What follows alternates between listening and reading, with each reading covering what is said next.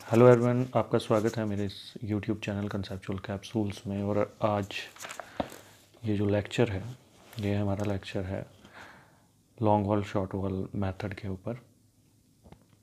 और इसकी एक एग्जांपल है जो हम यहाँ से उठाएँगे। Long wall short wall method को समझने के लिए आप एक आसान एग्जांपल भी ले सकते हैं, इससे आसान। लेकिन फ़िलहाल अभी ये जो क्वेश्चन है, इसके अंदर एक रूम के साथ एक वरंडा दिया हुआ है। तो हम इसको लेकर क्वेश्चन को सॉल्व करेंगे। ठीक है? तो फ़िलहाल ये मेथड सेंटर लाइन मेथड से कहाँ पे डिफरेंट है, वो भी मैं देखूँगा। पहले तो हम देखते हैं क्वेश्चन क्या है। 2.9 एग्ज़ाम्पल है। आप बुक भी एक बार देख लो कि बुक कौन सी है हमारी। बुक हमारी कैटसन बुक्स हैं। कैटसन पब्लिकेशन की बुक है ये। ए के उपाध्याय की civil engineering and costing including quantity survey tendering and valuation ये बुक मार्केट में इजीली आपको मिल जाएगी। और ये पेज नंबर जो है, इस बुक, इस क्वेश्चन का पेज नंबर है 107 तो मैं क्वेश्चन को ज़रा पढ़ लेते हैं। क्वेश्चन हमारा है क्या? तो क्वेश्चन हमारा है prepare estimate for the following items of the work from the plan and the section of an of an one room building as shown in the figure 2.30 also prepare the abstract of the cost. तो आपको सबसे पहले तो prepare करना है estimate for the following items कुछ items को आपको एस्टिमेट करके देना है कि कितनी कितनी क्वांटिटी किस किस आइटम की यहाँ पर लगेगी। आपको प्लान और सेक्शन जो है, इसकी वो दी हुई है।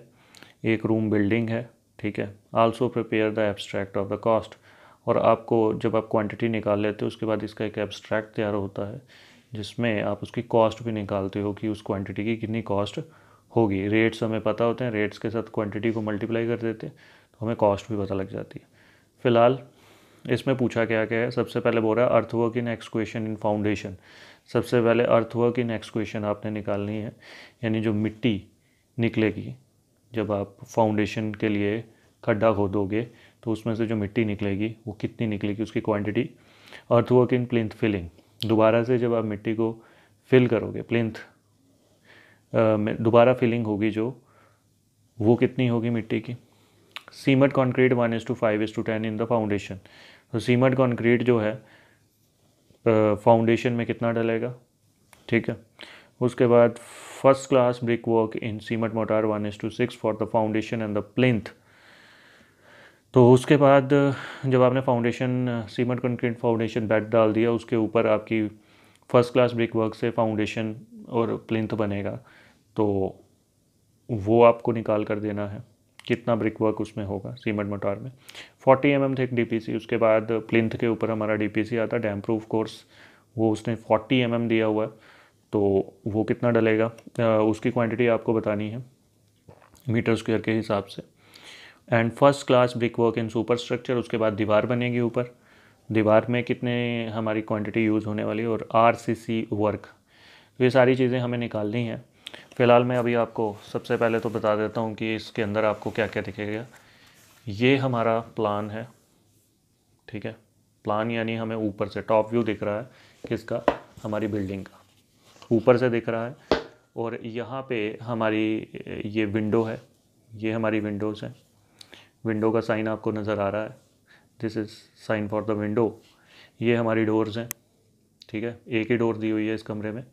कमरे की डायमेंशन है four point five into five point two तो फोर पॉइंट फाइव हॉरिजेंटल होगी और फाइव पॉइंट टू जो वो वर्टिकल होगी। ये आपको ध्यान रखना है। तो इसमें हमारी दो शॉर्ट वॉल्स हैं और दो लॉन्ग वॉल्स हैं। ठीक है? लॉन्ग वॉल होगी जिसकी लेंथ जो है वो ज़्यादा है शॉर्ट वॉल वो होगी जिसकी लेंथ जो है वो छोटी है। तो यहाँ से आपको समझना है। मेथड कैसे यूज़ होगा वो भी मैं बताऊँगा। इसके बाद अगर आप टॉप व्यू से देख रहे हो तो ये आपको आगे कुछ स्पेस नज़र आ रही है जिसको इसने वरंडा लिखा हुआ है। वरंडा जो है टू मीटर वाइड है। इसके बीच में आपको पिलर नज़र आ रहे हैं। ठीक है? पिलर यानी कॉलम टाइप हमारे नज़र आ रहे हैं। और पिलर की डायमेंशन इसमें thirty into thirty thirty into thirty यानी ये स्क्वेयर है। छोटे से स्क्वेयर आपको जो नज़र आ रहे हैं स्क्वेयर हैं। थर्टी इंटू थर्टी का ये हमारा पिलर है। Thirty centimetre into thirty centimetre का। ये पिलर है, ये तीन पिलर है। ठीक है, उसके बाद यहाँ पे आपको सीढ़ियाँ नज़र आ रही हैं। सीढ़ियों में जो राइज़र राइज़ है राइज़ पोर्शन पंद्रह का है और ट्रेड जो है वो थर्टी है। तो ये आप जानते हो राइज और ट्रेड के बारे में। ठीक है ट्रेड आ गया जो आपको ऊपर से दिख रहा है। अभी जो दिख रहा है दिस इज़ ट्रेड जिसके ऊपर आप पाँव रखते हो। और राइज़र होता है जो सीढ़ी को राइज़ करता है। ठीक है तो दो ही पोर्शन होते हैं इसके अंदर। राइज उसने पंद्रह का दिया ट्रेड उसने तीस का दिया हुआ है। और यहाँ से इसकी विड्थ दी हुई है अठारह सौ, ठीक है? तो तकरीबन तकरीबन ये अठारह सौ एम के बराबर हमें इसकी विड्थ दी हुई है। आगे और क्या क्या दिया हुआ है उसको देखते हैं। फ़िलहाल एक तो हमें प्लान चाहिए होता है, एक हमें चाहिए होता है उसका सेक्शन तो सेक्शन जो है, उन्होंने यहाँ पे अब दो सेक्शंस यहाँ पे ड्रॉ करके उसने दी हुई है। पहले तो उसने क्या किया हुआ है? इसी प्लान को, इस प्लान को यहाँ से काटा है। ये ए और ये खिड़की को आधे से काटा हुआ है। उसके बाद ये पोर्शन उसने यहाँ से काटा हुआ है और ये सारा पोर्शन यहाँ पे आपको नज़र आ रहा है। तो फ़िलहाल यहाँ से काटता हुआ वो ये सारा पोर्शन उसने काटा हुआ है। ठीक है? ये। तो ए बी सी डी तो इसका क्या मतलब होता है कि जब मैं इस साइड से देखूँगा तो इस साइड से जब मैं देखूँगा मतलब अगर मैं यहाँ पे खड़े होकर बिल्डिंग को देखता हूँ तो मुझे क्या दिखेगा? मुझे ये चीज़ तो पूरी दिखेगी, ठीक है? अब इस लाइन के जो इस साइड वाला पोर्शन है, ये कट जाएगा, ये चीज़ आपको नहीं दिखेगी। हमने, हमें देखना है इसके उस साइड वाला पोर्शन, लाइन के जो उस साइड वाला पोर्शन है, सिर्फ़ वही दिखेगा जो इस साइड वाला पोर्शन है वो नहीं दिखेगा, यानी ये वाला पोर्शन जो है ये कट जाएगा, ये पोर्शन नहीं दिखेगा हमें। तो आप इसको ध्यान से देखो। बुक में, अब ये खिड़की को काटा हुआ है। आपको ये खिड़की का, ये टॉप व्यू है। आपको अगर सामने खड़े होकर देखते हो बिल्डिंग को तो आपको इस तरह से दिखेगी। ये पोर्शन इसने काटा हुआ है। आधी दीवार आपको कटी हुई नज़र आ रही है, ये लाइन के इस साइड वाला पोर्शन आपको नज़र आ रहा है। ये जो लाइन है, इसके इस साइड वाला पोर्शन तो आधी खिड़की भी काट रहा है तो खिड़की आपको यहाँ पे नज़र आ रही है। उसके बाद दीवार, क्योंकि मैसनरी वर्क है, खिड़की जो है वो दीवार के बीच में ही आएगी। तीस सेंटीमीटर की दीवार है, वो आपको उसकी हाइट जो है वो नज़र आ रही है। एलिवेशन बेसिकली किसके लिए होती है? एलिवेशन में आपको हाइट नज़र आती है। ये तीसरी डायमेंशन दो डायमेंशन तो आपको यहीं पे नज़र आ गए ना। एक तो आपको लेंथ लेंथ और बिड तो नज़र आ रही है, लेकिन हाइट जो है, वो आपको तीसरी डायमेंशन जो है वो सेक्शन में आपको नज़र आएगी। तो ये ए बी सी डी वाला पार्ट है। और इसमें क्या था? ये लाइन अगर आप देखते हो, ये लाइन यहाँ से जा रही है तो ये खिड़की जो है, ये इसके उस साइड मैंने कहा सिर्फ़ उस साइड वाली पोर्शन दिखेंगे, इस साइड वाला नहीं दिखेगा उस साइड आपको सामने दिख रही है खिड़की है। यहाँ पे देखो, आप कुछ आधी खिड़की नज़र आ रही है, क्योंकि आधी लाइन तक ये कटी हुई है तो आधी नज़र आ रही है। ठीक है? उसके बाद इसकी हाइट जो है वो बाकी सारी चीज़ें जो आपको, जो जो पोर्शन है सब दिया हुआ है और उसने ग्राउंड से के नीचे से स्टार्ट करेगा। अब ये जो दीवार है, दीवार के नीचे जो फाउंडेशन है, वो नब्बे सेंटीमीटर की डाली हुई है, ये दीवार के लिए, ठीक है? नब्बे सेंटीमीटर नाइन्टी सेंटीमीटर का इसने फाउंडेशन बेड डाला हुआ है, उसके ऊपर फ़र्स्ट फुटिंग जो है वो साठ सेंटीमीटर की है, उसके बाद सेकंड फुटिंग जो है वो फिफ्टी सेंटीमीटर की है और उसके बाद प्लिंथ जो है वो फोर्टी सेंटीमीटर का है। ये जीएल का मतलब हो गया ग्राउंड लेवल और पीएल का मतलब हो गया प्लिंथ लेवल ग्राउंड लेवल जो है ग्राउंड लेवल के ऊपर जो होता है वो प्लिंथ स्टार्ट हो जाता है। तो फाउंडेशन का वो पार्ट जो ग्राउंड लेवल के ऊपर होता है, उसको प्लिंथ कहते हैं। तो ये पूरा पोर्शन जो है, ये 40 सेंटीमीटर इसकी विड्थ दी हुई है प्लिंथ की, और यहाँ से यहाँ तक इसकी ग्राउंड तक जो हाइट है वो दे दी हुई है थर्टी प्लस फोर्टी फाइव किया हुआ है। थर्टी जो है ग्राउंड से नीचे है फोर्टी फाइव ऊपर है तो प्लस करके देखो कितना आता है, वो सारा हमारा तो ये हमारी एलिवेशन है, इसका बड़ा इंपॉर्टेंट रोल है। इन दोनों का बहुत इंपॉर्टेंट रोल है जब आप क्वेश्चन को सॉल्व करोगे, क्योंकि दो डायमेंशन यहाँ से नज़र आएँगी, तीसरी डायमेंशन हाइट जो है हमें किसी भी क्वांटिटी की, वो हमें इधर से नज़र आएगी। लेकिन फ़िलहाल इसके अंदर खाली दीवारें नहीं हैं, इसके अंदर हमारे पिलर्स भी हैं। तो जब हम पिलर वाले पोर्शन को कवर कर रहे हैं तो पिलर की अपनी एक फाउंडेशन है। पिलर की कौन सी फाउंडेशन है? पिलर की फाउंडेशन इसने यहाँ पे दी हुई है। लिखा हुआ है pillar foundation pillar foundation pillar के नीचे सबसे पहले क्या डलेगा? Foundation bed डलेगा। उसके बाद सिर्फ़ एक ही फुटिंग डलेगी। ठीक है? और एक फुटिंग डलने के बाद उसके ऊपर प्लिंथ डलेगा। तो प्लिंथ जो है अगेन प्लिंथ जो है थर्टी प्लस फोर्टी फाइव ये इसकी हाइट है। ठीक है? और दीवार की हाइट जो है वो थर्टी है।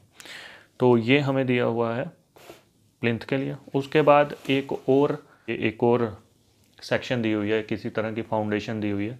ये फाउंडेशन उसने दी हुई है ड्वाफ वॉल के लिए। ड्वाफ वॉल्स वो वॉल्स होती हैं जो आपकी स्लैब को सपोर्ट नहीं करती, उससे छोटी ही होती हैं, ठीक है? स्लैब तक नहीं पहुँचती ये वॉल्स तो ये वॉल इन्होंने बेसिकली पिलर्स के बीच में दी हुई है। तो एक तो यहाँ पे आएगी ये ड्वाफ वॉल और एक ड्वाफ वॉल यहाँ पे आएगी, जो यहाँ पे वो नज़र दिखा नहीं रहा, लेकिन यहाँ पे आएगी। और यहाँ पे जो डिवॉफ वॉल्स आएँगी उनका जो फाउंडेशन है, वो उसने यहाँ पे दी हुई है। मतलब उसके नीचे जो फाउंडेशन पड़ेगी वो है। और इसकी थिकनेस जो है वो थर्टी सेंटीमीटर ही है। तो ये था। अब ये ये वाला सेक्शन तो मैंने आपको समझा दिया कि ये सेक्शन तो यहाँ से काटी हुई है। तो ये वाली सेक्शन कहाँ से काटी हुई है? ये सेक्शन इसने काटी हुई है। अगर आप देखो यहाँ से, एक आपको यहाँ से वाई नज़र आ रहा है, ये यहाँ से आपको एक्स नज़र आ रहा है। तो अगर इस लाइन को आप ज्वाइन कर लेते हो यहाँ से आपका ये पोर्शन जो है वो काट दिया हुआ उसने। यानी इस लाइन के ये वाला पोर्शन जो है वो आपको नज़र नहीं आने वाला। अब आपको सिर्फ़ नज़र आएगा ये वाला पोर्शन ठीक है? ये वाला पोर्शन आपको नज़र आएगा। ये वाला काट दिया हुआ। जब हम इसको काटेंगे और यहाँ पे खड़े होके अगर मैं इस साइड को देखता हूँ तो मुझे क्या नज़र आने वाला है? मुझे बिल्डिंग इस तरह से नज़र आएगी। यानी ये चीज़ जो है, सबसे पहले यहाँ पे जो ड्राफ वॉल ये वाला पोर्शन आ गया। ठीक है? उसके बाद उसके पीछे ये कमरे की, कमरे का पोर्शन नज़र आएगा ये। और कमरा जब आपने काटा तो सामने से आपको ये दो खिड़कियाँ नज़र आएँगी। तो ये दो खिड़कियाँ आपको नज़र आ रही हैं। इसको बड़े ध्यान से समझो। और एक दीवार ये वाली आपकी दीवारें कौन कौन सी हैं? ये कमरा नज़र आ रहा है, एक दीवार आपको ये नज़र आ रही है, एक दीवार ये नज़र आ रही है। तो इस दीवार की फाउंडेशन ये है। इस दीवार की फाउंडेशन ये है और इस दीवार की फाउंडेशन ये है। तो ये दोनों आपको नज़र आ रहे हैं। ठीक है? तो यहाँ पे लिखा भी है उसने सेक्शन एक्स वाई यानी ये एक्स वाई को जब आप काट के देख रहे इस साइड से देख रहे हो जब सामने से देख रहे हो तो वो ये वाली सेक्शन है और इस सेक्शन को इसने ए बी सी डी का नाम दिया हुआ है। ठीक है? तो ये था हमारा आ, पूरा idea about plan and the section जो आपको क्वेश्चन के अंदर दिया होता है, इसको बड़े ध्यान से आपने समझना है क्योंकि इसको इसको बिना समझे हम क्वेश्चन को नहीं निकाल सकते। एक तीसरी चीज़, एक और चीज़ यहाँ पे रह गई हुई है, और वो थे डोर्स और विंडोज़ की बात कर रहा हूँ, और शेल्व्स शेल्व ये जो आपको हल्का सा पार्ट नज़र आ रहा है, जो आधा दीवार से काटा हुआ है, इसको शेल्व कहते हैं।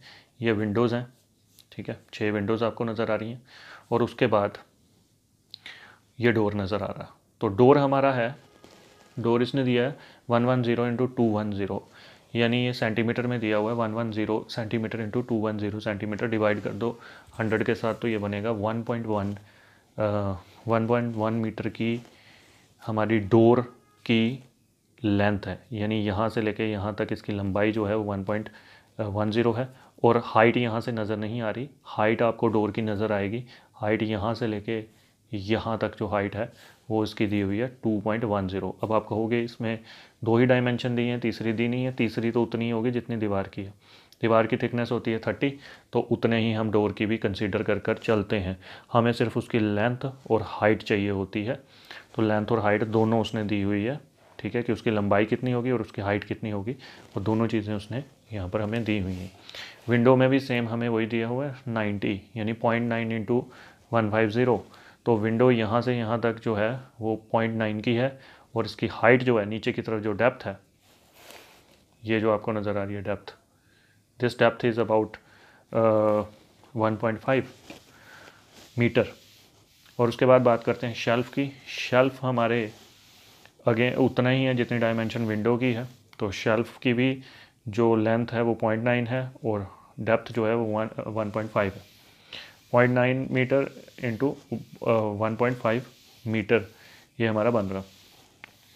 ये सारी चीज़ें यहाँ पे जो इम्पोर्टेंट इंपॉर्टेंट पार्ट है, वो मैंने आपको समझा दिया, ठीक है? बाकी जो क्वेश्चन होगा, जब क्वेश्चन को क्वेश्चन में मैं आपको जैसे क्वेश्चन करते हैं, हम बताते हैं आगे, इसमें और क्या क्या है। ठीक है दोस्तों? तो बाकी का जो है पार्ट मैं आपको नेक्स्ट लेक्चर में बताता हूँ। फ़िलहाल अभी इसको आप अच्छे से समझिए। Thank you very much